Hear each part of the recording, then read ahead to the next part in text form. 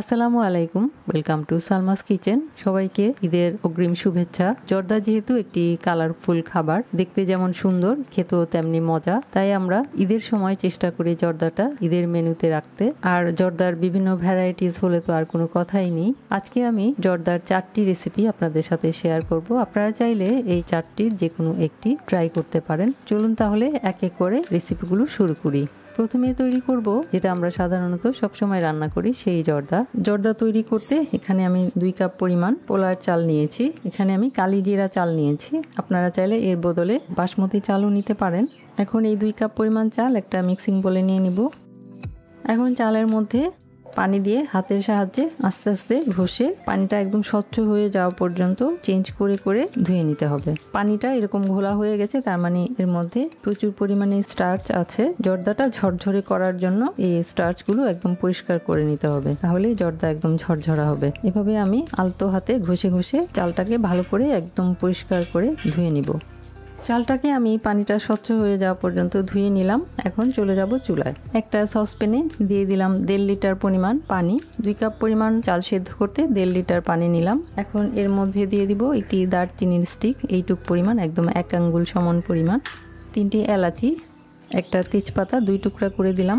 এবং তিনটি লবঙ্গ। দিয়ে এখন চুলাটা জ্বালিয়ে ফুটে আসা পর্যন্ত অপেক্ষা করব। পানিটা ফুটতে ফুটতে চালটা মোটামুটি ভিজে যাবে। পোলায়ের চাল সেদ্ধ করতে এর চেয়ে বেশি ভিজিয়ে রাখার দরকার পড়ে না। কিন্তু যদি বাসমতি চাল দিয়ে জর্দা রান্না করতে চান, তাহলে বিশ মিনিট ভিজিয়ে রেখে দিতে হবে। পানি যখন ফুটে উঠবে, সেই পর্যায়ে দিয়ে দেব আধা চা চামচ পরিমাণ জর্দার রং।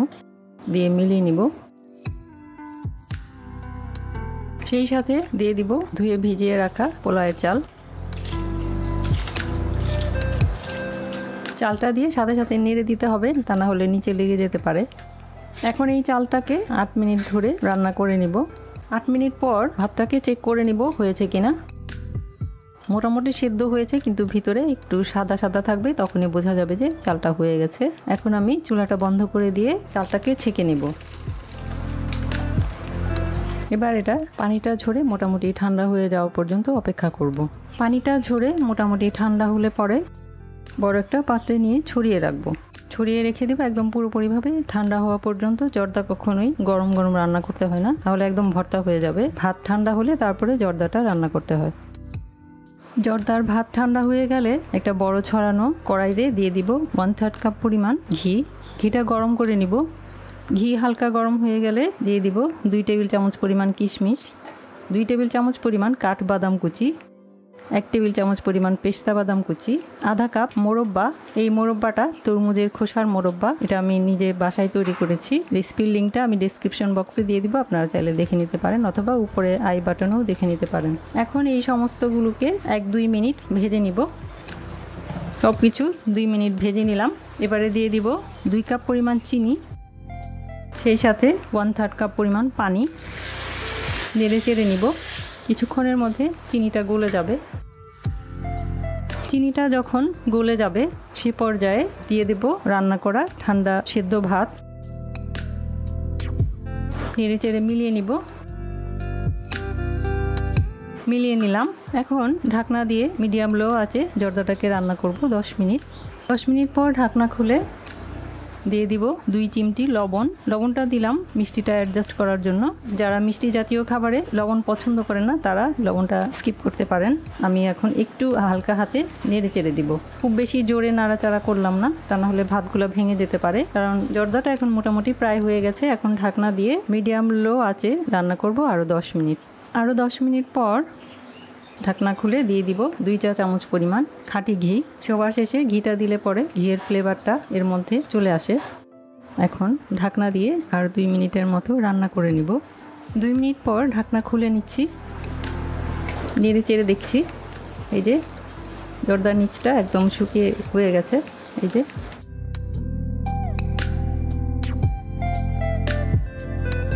একদম ঝরঝরা জর্দা। এবারে চুলাটা বন্ধ করে দিয়ে জর্দার হাঁড়িটা তুলে ঠান্ডা করে নেব। তৈরি হয়ে গেল একদমই সহজভাবে সাধারণ জর্দা। এবার আমি এই জর্দাটা দিয়েই পর্যায়ক্রমে আর দুইটা জর্দা রেসিপি আপনাদের সাথে শেয়ার করব। একটা হচ্ছে ফ্রুট জর্দা এবং আরেকটা হচ্ছে মালাই জর্দা। প্রথমে তৈরি করব ফ্রুট জর্দা। ফ্রুট জর্দা তৈরি করার জন্য একটা মিক্সিং বোলের মধ্যে প্রথমে নিয়ে নিব রান্না করা সেই জর্দা। এর মধ্যে দিয়ে দিব সবুজ আঙ্গুর কুচি করা, কালো আঙ্গুর কুচি বেদানা বা আনার এবং কিছু বেবি সুইট এখন হালকা করে মিলিয়ে নেব। বাবুর্চিরা যখন রান্না করে, তখন হাঁড়ির মধ্যেই কিন্তু এই ফলগুলো অ্যাড করা হয়। বিয়ে বাড়িতে যখন অ্যাড করা হয়, তখন হাঁড়ির মধ্যেই এই সমস্ত কিছু একসাথে মেলানো হয়। মেলানো হয়ে গেলে এখন পরিবেশন করে নেব। তৈরি হয়ে গেল পুরান ঢাকার বাবুর্চিদের স্টাইলে বিয়েবাড়ির ফ্রুট জর্দা। এখন এর উপরে আরও কিছু আনার দানা দিয়ে দেওয়া যায়। দেখতে আরও ভালো লাগবে। কিছু চেরি কুচি এবং সবার উপরে একটা চেরি দিয়ে দিলাম। তো আশা করছি পুরান ঢাকার স্টাইলে এই জর্দাটা আসছে, ঈদে আপনারা ট্রাই করবেন। আশা করছি অনেক অনেক মজা লাগবে, একটু ডিফারেন্ট এমনিতেই জর্দাটা খেতে মজা, তার মধ্যে আবার প্রতিটা বাইটেই বিভিন্ন রকমের ফলের টেস্ট পাওয়া যায়। এতে করে জর্দার স্বাদটা অনেক গুণ ভালো আসে। তো আশা করছি ডিফারেন্ট টাইপের পুরান ঢাকার বাবুর্চিদের স্টাইলে ফ্রুট জর্দার এই রেসিপিটা আপনারা ট্রাই করবেন এবং আশা করছি ভালো লাগবে। এবারে তৈরি করব মালাই জর্দা। মালাই জর্দা তৈরি করতে প্রথমে আমি মালাইটা তৈরি করে নিব। মালাই মালাই তৈরি করতে একটা ফ্রাই প্যানে নিয়ে নিব এক টেবিল চামচ পরিমাণ খাঁটি ঘি। সেই সাথে নিয়ে নিব দুই কাপ পরিমাণ তরল দুধ, ফুল ক্রিম, তরল দুধ। আধা কাপ পরিমাণ গুঁড়া দুধ। আধা কাপ পরিমাণ চিনি। এখন এই উপকরণগুলো একসাথে মিলিয়ে নিব। এবারে চুলাটা জ্বালিয়ে অনবরত নাড়তে থাকব। দুধ, এর সাথে গুঁড়া দুধ, চিনি একসাথে করে পাঁচ মিনিট জাল করার পর এর মধ্যে দিয়ে দিব ডানো ক্রিম। দুই টেবিল চামচ পরিমাণ। এই ক্রিমটা দিলে পরে মালাইটা আরও দ্রুত ঘন ঘন হয়ে যাবে এবং টেস্টটাও অনেক গুণ বেড়ে যাবে। মালাইটা দিয়ে অনবরত নাড়তে থাকব। আরও প্রায় সাত থেকে আট মিনিট আমি মাঝারি আছে মালাইটাকে জাল করে নিলাম। মালাইয়ের টেক্সচারটা এরকম হবে। এর চেয়ে বেশি ঘন করা যাবে না, কারণ ঠান্ডা হলে কিন্তু এটা আরও অনেক বেশি ঘন হয়ে যাবে। কারণ আমি জর্দার মধ্যে এটা ঠান্ডা করে তারপরে পরিবেশন করব। তার জন্য এর চেয়ে বেশি আর ঘন করার কোনো দরকার নেই। এবার আমি চুলাটা বন্ধ করে দিয়ে এটাকে ঠান্ডা করে নিব। মাঝে মাঝে একটু নেড়ে চেড়ে দিতে হবে, তা না হলে কিন্তু উপরে সর পড়ে যাবে। এবারে জর্দাটা পরিবেশন করে নিব। একটা পাত্রের মধ্যে নিয়ে নিচ্ছি রান্না করা সেই জর্দা। এবার এর উপরে দিয়ে দিব, এই যে মালাই তৈরি করে রেখেছিলাম, একদম ঠান্ডা হয়ে গেছে। এটাকে আমি এরকম একটা কাবাবের কাঠি দিয়ে নেড়ে নিচ্ছি, তাতে করে সবগুলো একসাথে মিক্সড হয়ে যাবে। এবার এই জর্দার উপরে দিয়ে দিব। এখন এর উপরে কিছু জর্দা দিয়ে দিব। হাতের সাহায্যে দিয়ে দিচ্ছি, তাহলে একদম পাতলা একটা লেয়ার দিব। চামচের সাহায্যে এত পাতলা দেওয়া যাবে না। এর উপরে দিয়ে দিব কিছু পেস্তা বাদাম কুচি। কিছু চেরি কুচি জাস্ট দেখতে ভালো লাগবে তাই। এবং কিছু বেবি সুইট এই বেবি সুইটগুলো আমার হাতে তৈরি। একইভাবে পাটিতেও পরিবেশন করে নিব। প্রথমে নিয়ে নিচ্ছি রান্না করা জর্দা। সমানভাবে ছড়িয়ে দিব। এরপর দিয়ে দিব মালাই। একইভাবে আমি বাটিতেও সাজিয়ে নিলাম। এখন কিছু আনার দানা দিয়ে দিচ্ছি। এটা জরুরি না, তবে দেখার সৌন্দর্যের জন্য দিয়ে দিলাম। আমরা বাসায় জর্দা খাই আর না খাই, আমাদের ট্রেডিশন অনুযায়ী বিয়ে বাড়িতে জর্দা পরিবেশন করা হয়। যুগের পরিবর্তনে আস্তে আস্তে কীভাবে কোনো খাবার আরও বেশি মজা করে তৈরি করা যায়, সেটাই আমরা চেষ্টা করি। তারই পরিপ্রেক্ষিতে এখন বিয়ে বাড়িতে জর্দাকে পরিবেশন করা হয় মালাইয়ের সাথে। বিয়ে বাড়িতেও পরিবেশন করা হয় এবং বিভিন্ন রেস্টুরেন্টেও খাবারের সাথে ডেজার্ট আইটেম হিসেবে পরিবেশন করা হয়। তারই রেসিপিটা আজকে আমি শেয়ার করলাম। আশা করছি, আসছে ঈদে আপনারা এই রেসিপিটা ট্রাই করবেন এবং অনেক অনেক মজা করে খাবেন। এবারে তৈরি করব লেমন ফ্লেভার জর্দা। এই লেবুর জর্দাটা আপনারা ঘরে থাকা উপকরণ দিয়েই তৈরি করতে পারবেন, কোনো ঝামেলাও হয় না। কিন্তু খেতে খুবই ভালো লাগে। লেমন ফ্লেভার আমাদের সবারই খুব প্রিয়, আর লেবুটা আমাদের সবারই ঘরে থাকে। আমি আজকের রেসিপিটা পোলার চাল দিয়ে রান্না করব। বাসমতি চাল দিয়ে করলে দেখতে ভালো লাগে, কিন্তু পোলার চাল দিয়ে আসলে জর্দার টেস্ট বেশি ভালো আসে। আমার কাছে যে কোনো জর্দাই পোলার চালেরটাই বেশি মজা লাগে। তো চলুন দেখে নিই লেমন জর্দা বা লেবুর জর্দার রেসিপিটি।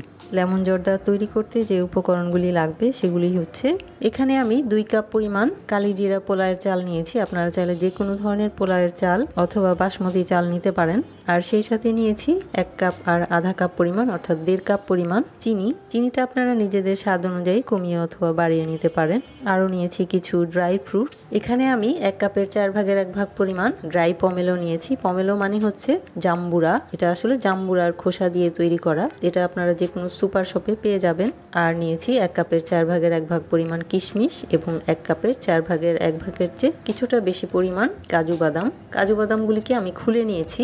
এবং এক কাপের চার ভাগের এক ভাগ পরিমাণ কুমড়ার মোরব্বা ড্রাই ফ্রুটস আপনারা নিজেদের পছন্দ মতো যে কোনো কিছুই নিতে পারেন। ঘরে যা যা থাকে তা দিয়ে এটা করা যাবে। চাইলে আপনারা শুধু কিশমিশ দিয়েও করতে পারেন। এটা যার যার পছন্দ, আমি নিয়েছি আমার পছন্দ মতো। আর সেই সাথে নিয়েছি এক কাপের চার ভাগের এক ভাগ পরিমাণ খাঁটি ঘি। লবণ নিয়েছি এক চা চামচের চার ভাগের এক ভাগ পরিমাণ। লবণটা অপশনাল আপনারা না চাইলে নাও দিতে পারেন। তবে যে কোনো মিষ্টি আইটেমের মধ্যে সামান্য একটু লবণ দিলে মিষ্টির স্বাদটা বেড়ে যায়। আর নিয়েছি কিছু আস্ত গরম মশলা, চারটি এলাচি, এলাচের মুখটা ফাটিয়ে নিয়েছি। দুটি দারচিনির টুকরো, চারটি লবঙ্গ, একটা আস্ত লেবু, আর হচ্ছে হলুদ ফুড কালার। আপনারা চাইলে সবুজ ফুড কালারও নিতে পারেন। আমি যেহেতু লেমন জর্দা বানাচ্ছি, তাই আমি এই ক্ষেত্রে কোনো কেওড়া জল বা গোলাপ জলের ফ্লেভার দিব না। শুধুমাত্র লেবুর ফ্লেভারটাই জর্দার মধ্যে থাকবে। এখন আমি একটা বড় বুলের মধ্যে নিয়ে নিব পোলার চাল, দুই কাপ পরিমাণ। এটাকে আমি কিছু পানি নিয়ে ভিজিয়ে রাখব। দশ মিনিট দশ মিনিট পর এটাকে আমি পানিটা স্বচ্ছ হয়ে যাওয়া পর্যন্ত প্রায় চার থেকে পাঁচবার পানি চেঞ্জ করে ভালো করে ধুয়ে নিয়ে ছেঁকে নিব। এখন আমি লেমন জেসটা রেডি করে নিব। তার জন্য লেবুটাকে গ্রেটারের সবচেয়ে ছোট ছিদ্র দিয়ে গ্রেট করে নিব। জাস্ট শুধু লেবুর উপরের যে সবুজ অংশটা, সেটাই শুধু গ্রেট করে নিব। এই ভেতরের সাদা অংশটা যেন জেস্টের মধ্যে না আসে, সেটা চেষ্টা করতে হবে। এই অংশটা কিন্তু তেতো হয়, তাই শুধু সবুজ অংশটা নিতে হবে। কারণ জেস্টটা আমি ইউজ করব শুধুমাত্র ফ্লেভারের জন্য। একটা লেবু, পুরাটা জেস্ট আমি বের করে নিলাম। এখন এই লেবুটা থেকে আমি দুই টেবিল চামচ পরিমাণ রস বের করে নেব। এখন আমি চালটা সেদ্ধ করে নিব। তার জন্য একটা হাঁড়িতে আমি দুই লিটার পরিমাণ পানি নিলাম। এর মধ্যে যেটুকু গরম মশলা নিয়েছি, তার থেকে অর্ধেক পরিমাণ এই পানিতে দিয়ে দিব। চারটি লবঙ্গ নিয়েছিলাম, দুটি লবঙ্গ দিয়ে দিচ্ছি, চারটি এলাচি নিয়েছিলাম, দুটি এলাচি দিয়ে দিলাম এবং সেই সাথে দিয়ে দিব ফুড কালার আমি যেহেতু লিকুইড ফুড কালার নিয়েছি, তাই একটু বেশি পরিমাণে লাগবে। দিয়ে এখন চুলাটা জ্বালিয়ে পানিটা ফুটে আসা পর্যন্ত অপেক্ষা করব। আমি এখানে এক চা চামচ পরিমাণ ফুড কালার নিয়েছি। আপনারা যদি আরও বেশি ডিপ কালার করতে চান, তাহলে আরও বেশি পরিমাণও অ্যাড করতে পারেন। পানিটা যখন ফুটে আসবে, তখন দিয়ে দিব ভালো করে ধুয়ে ছেঁকে রাখা পোলায়ের চাল। চালটা দিয়ে নেড়ে দিতে হবে, তা না হলে নিচে লেগে যাবে। এখন একবার নেড়ে দিব, দুই মিনিট পর আবার নেড়ে দিব। দুই মিনিট পর আবার নেড়ে দিলাম। এখন চালটাকে আমি ঘড়ি ধরে রান্না করব আট মিনিট। আর বাসমতি চাল দিয়ে যদি আপনারা রান্না করেন, তাহলেও আট মিনিট রান্না করবেন। আট মিনিটেই চালটা সিদ্ধ হয়ে যাবে, এর চেয়ে বেশি সিদ্ধ করার প্রয়োজন নেই। ফিরে আসছি আট মিনিট পর। আট মিনিট পর আমি এখন চালগুলি ছেঁকে নিব। এই যে এরকম হয়েছে চালটা, একদম সিদ্ধ হয়নি, আবার কম সিদ্ধ হয়নি। এই পর্যায়ে চালটাকে তুলে নিতে হবে। আমি চুলাটা বন্ধ করে দিয়ে স্ট্রেনারে ছেঁকে নিব। এখন এই চালটাকে কিন্তু পুরোপুরিভাবে ঠান্ডা করে তারপর জর্দাটা রান্না করতে হবে। যেহেতু পোলায়ের চাল নিয়েছি আমি, তাই এটাকে ঠান্ডা না করে কিন্তু রান্না করা যাবে না। তা না হলে জর্দাটা একদম ভর্তা ভর্তা হয়ে যাবে। তাহলে আমি এখন অপেক্ষা করব ভাতটা পুরোপুরিভাবে ঠান্ডা হওয়া পর্যন্ত। ঠান্ডা হতে হতে বাকি প্রিপারেশনগুলি করে নিব। এখন একটা কড়াইতে ঘি দিয়ে দিব। চুলা জ্বালিয়ে ঘিটা গলে যাওয়া পর্যন্ত অপেক্ষা করব। আমি এক টেবিল চামচ পরিমাণ ঘি রেখে দিয়েছি। এটা একদম সবার শেষে অ্যাড করব। ঘি গরম হয়ে গেলে দিয়ে দিব কাজু বাদাম। কাজু বাদামটাকে একটু ভেজে নিব। কাজু বাদামটা যখন ভাজা হয়ে যেতে থাকবে, সে পর্যায়ে দিয়ে দিব কিশমিশ। কিশমিশটাও একটু ভেজে নিব। যখন কিশমিশ আর কাজু বাদাম ভাজা হয়ে যাবে, তখন চুলাটা বন্ধ করে দিয়ে এগুলি কড়াই থেকে তুলে নিব। এখন রয়ে যাওয়া ঘিয়ের মধ্যে দিয়ে দিব রয়ে যাওয়া গরম মশলা, দুটি এলাচি, দুটি লবঙ্গ এবং দারচিনির টুকরো। এখন চুলাটা জ্বালিয়ে মশলাগুলি হালকা একটু ভেজে নিব। প্রায় তিরিশ সেকেন্ডের মতো মশলাগুলি ভেজে নিলাম। মশলার সুন্দর একটা ঘ্রাণ ছড়ালে দিয়ে দিব চিনি। সেই সাথে দিয়ে দিব ওয়ান থার্ড কাপ পরিমাণ পানি। পানিটা দিলাম যাতে চিনিটা খুব সহজে গুলতে পারে। চিনিটা এর মধ্যে গলা শুরু হয়ে গেছে। এ পর্যায়ে দিয়ে দিব সেই জর্দার রান্না করা ভাত। আলতো হাতে নেড়ে চেড়ে দিব যাতে সবগুলো ভাতের মধ্যে চিনিটা যেতে পারে। এ পর্যায়ে দিয়ে দিব লবণ। লবণটা দিয়েও একটু আলতো হাতে সব কিছু নেড়ে চেড়ে মিলিয়ে দিব। খুব বেশি জোরে নাড়াচাড়া করা যাবে না, আলতো হাতে নেড়ে চেড়ে দিতে হবে। এ পর্যায়ে আমি দিয়ে দিব চাল কুমড়ার মোরব্বা। দিয়ে এখন অল্প একটু নেড়ে চেড়ে দিব। এখন ঢাকনাটা দিয়ে একদম লো আছে দমে দিয়ে রান্না করব 10 মিনিট, যাতে চিনিটা ভাতের সাথে একদম মিলে শুকিয়ে যায়। চুলার আঁচটা একদম লোতে রাখতে হবে, কারণ ভাতটা কিন্তু রান্না করা চুলার আঁচ বেশি বাড়িয়ে দেওয়া যাবে না। ফিরে আসছি 10 মিনিট পর। 10 মিনিট পর ঢাকনাটা তুলে চেক করে নিব চিনিটা শুকিয়েছে কিনা। একদম শুকিয়ে গেছে, নিচে একদম কিছুই নেই। দেখুন এই পর্যায়ে দিয়ে দিব লেমন জেস্ট, লেবুর রস, ড্রাই পমেলো, ভেজে নেওয়া কাজু বাদাম আর কিশমিশ এবং ওই যে রেখে দিয়েছিলাম এক টেবিল চামচ পরিমাণ ঘি, সেটা দিয়ে দিচ্ছি ফ্লেভারের জন্য সবার শেষে। এবার আলতো হাতে সব কিছু মিলিয়ে নিব। যেহেতু জর্দাটা রান্না হয়ে গেছে, এখন কিন্তু খুব বেশি জোরে নাড়াচাড়া করা যাবে না। এখন সব কিছুর ফ্লেভার জর্দার মধ্যে আসার জন্য ঢাকনা দিয়ে অপেক্ষা করব দু মিনিট। দুই মিনিট পর ঢাকনা তুলছি। আমার জর্দাটা রান্না হয়ে গেছে, চুলা বন্ধ করে দিচ্ছি। এখন পরিবেশনের পালা। তৈরি হয়ে গেল একদম সহজভাবে লেবুর ঘ্রাণে ভরা লেমন জর্দা। তো আশা করছি লেমন জর্দা বা লেবুর জর্দার এই রেসিপিটা আপনারা ট্রাই করবেন এবং ঘরে থাকা উপকরণ দিয়েই রান্না করবেন এবং অতিথি আপ্যায়নে বা কোনো অনুষ্ঠানেও পরিবেশন করবেন এবং বেশ প্রশংসা পাবেন। এভাবে আমি এক এক করে চারটি জর্দা তৈরি করে নিলাম। সবগুলোই খুব মজার। আপনারা চাইলে আসছে ঈদে এই চারটি জর্দার যে কোনো একটি ট্রাই করতে পারেন। আশা করছি সবার কাছেই অনেক ভালো লাগবে এবং সবাই খুব পছন্দ করে খাবে। ঈদ সবার জন্য আনন্দময় হোক। সবাইকে আবারও ঈদের অগ্রিম শুভেচ্ছা জানিয়ে শেষ করছি। সবাই অনেক ভালো থাকবেন। আল্লাহ হাফেজ।